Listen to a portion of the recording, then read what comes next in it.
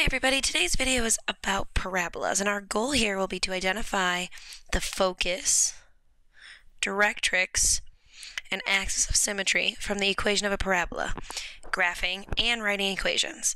So there's going to be a lot here that's brand new, um, but the most importantly are these vocabulary words. So a parabola is a set of all points that are equidistant from a given point, which we call the focus, and a given line called the directrix. So you have this point, which is a focus, and a line that is the directrix.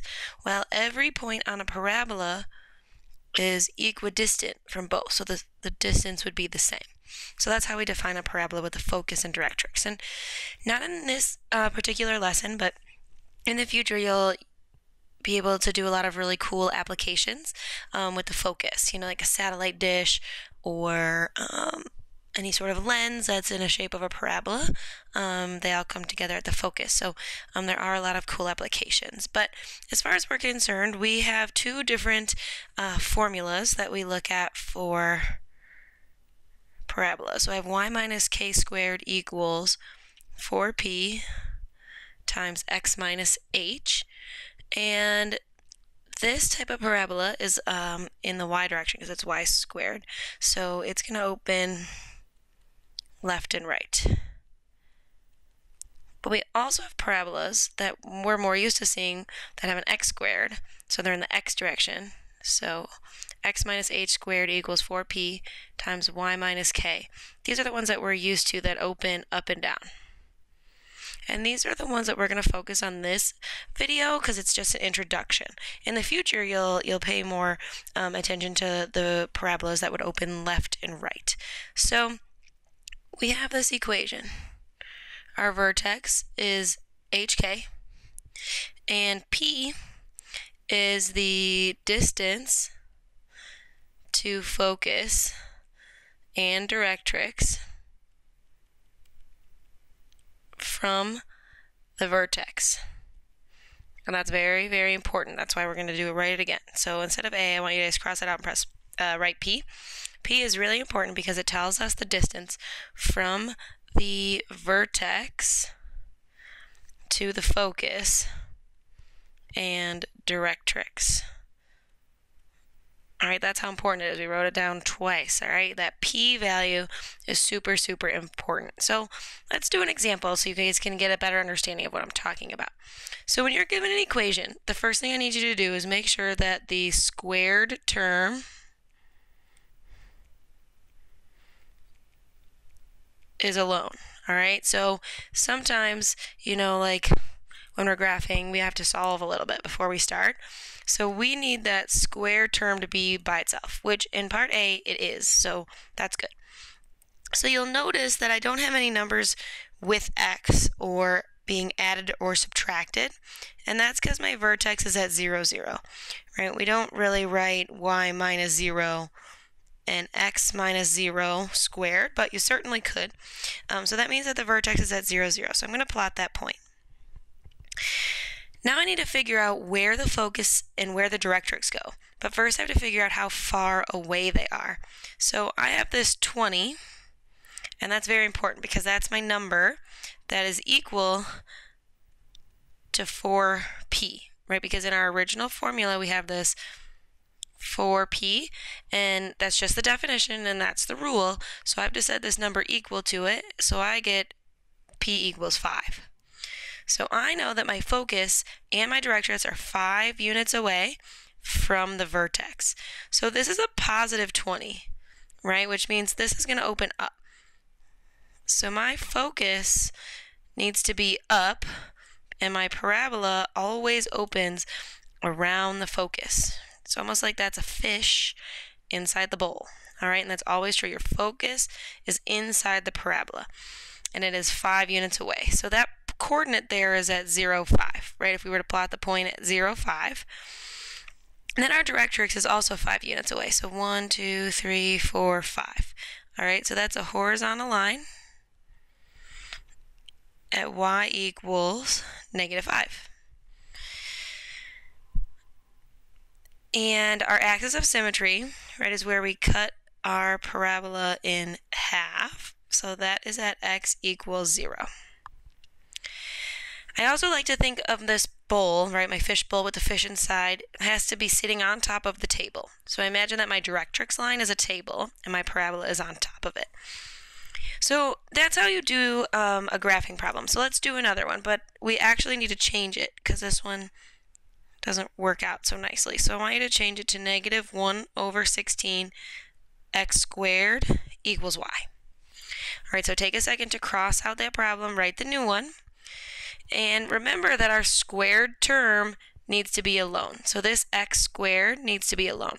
So I need to multiply both sides by negative 16. So I get x squared equals negative 16y. So just like the last one, right, we don't ever write out like plus or minus 0. So my vertex is at 0, 0. So I always plot that first. Then I need to figure out how far away my focus and directrix are. So again, it's always 4p, and that's going to equal negative 16 this time, right? The numbers change, but we're the same process. So p is negative 4. And you'll notice that p is negative because this 16 is negative, which means it opens down. So my focus needs to be 4 units away. 1, 2, 3, 4. So my parabola opens down. And again, our focus is always inside the parabola. So that point is 0, negative 4. Then I have my directrix, that's also 4 units away. So count in the other direction, 1, 2, 3, 4. And we have a horizontal line at y equals 4. And then lastly, that axis of symmetry is where we would cut our parabola in half at x equals 0. So there's two examples on how to graph. Again, make sure your squared term is alone. Find the vertex, which is 0, 0 for both of these. And then I need to find P. All right, that's super important because I need to know how far away to count. Like you're literally, it's amazing. You're just counting to figure out the focus and the directrix. Okay. So now we're going to go backwards because this says now that we've graphed parabolas, let's write the equation. So let's remember that the general equation is x minus h squared equals 4p times y minus k. All right, that's our general formula where we want to plug in numbers in for h, p, and k. So we're going to use the graph. So for part A, we need my vertex. We need p. And I need to know, is it opening up or down? All right, so those are the three questions that you need.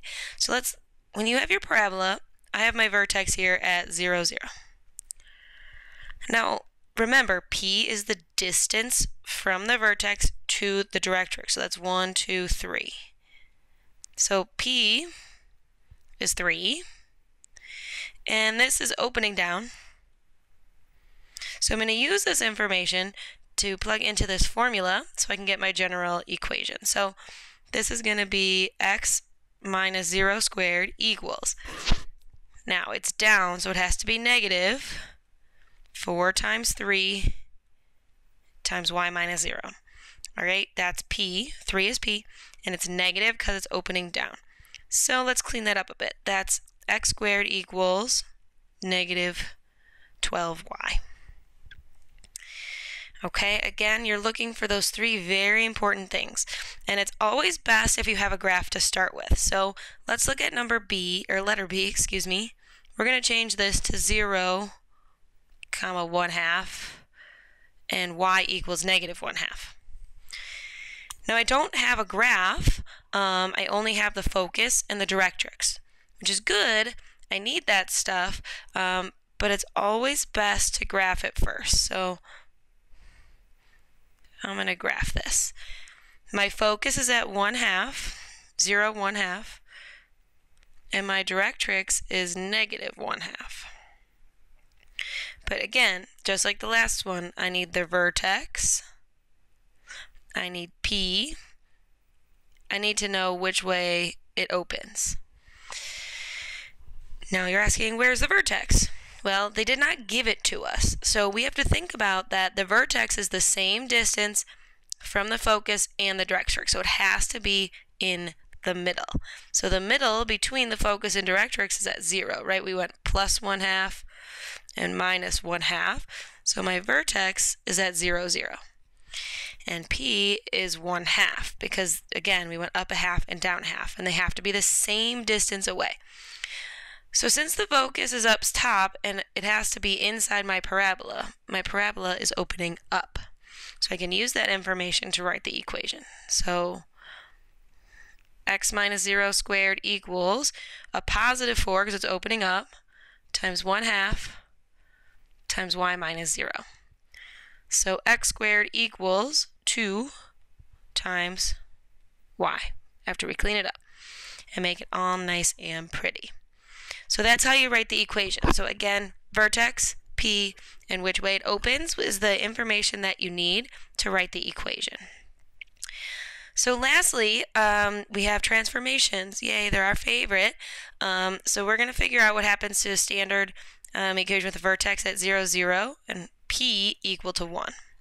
So what I want you to do is I want you to try this. Because we've done transformations already um, in a previous unit, I want you to do that, but also remember I want the squared term alone first. So hint, hint, I need that x minus 3 squared by itself before I can talk about those transformations. All right, and we'll go over that when we get um, together. But make sure you have something written down, you've thought about it, and you've tried it. See you later.